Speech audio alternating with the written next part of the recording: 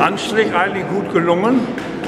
Sieht fast so aus, als wenn wir keine Beleuchtung mehr brauchen. So hell ist es geworden.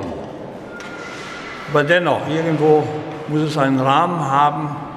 Wird ja auch mal Winter und Schnee kriegen wir auch nicht mehr, dass es ausgeleuchtet wird in der Reflexion.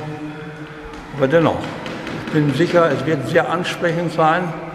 Ja, all die Leute, die reinkommen, es wird sogar so sein, dass Leute, die sonst nicht in die Kirche gehen, auch hier mal Einblick gewinnen wollen und dann vielleicht auch zurückfinden in die Kirche.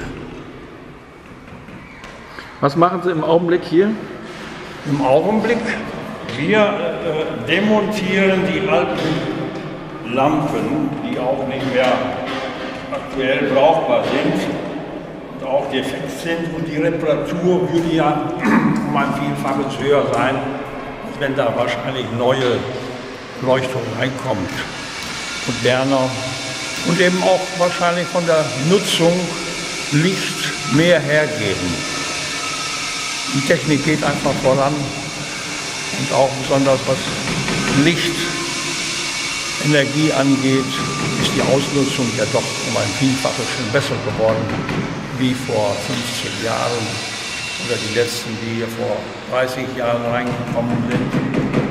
Ich denke mal, dass eine neue Beleuchtung doch wohl die bessere Lösung ist.